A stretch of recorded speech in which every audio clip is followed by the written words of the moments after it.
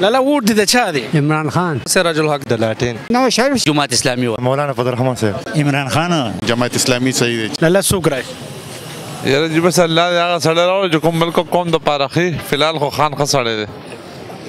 سلام علیکم وعلیکم السلام الله څوک راځي عمران خان ولې بس سړی دی عمران خان او ښه سړی دی چې ښه سړی بس نو ولې علاقه کې تاسو ښه سړی نشته شته خو دا بل سړی دی د پاکستان د پاره ان شاء الله ښه سړی دی که خیر ان شاء الله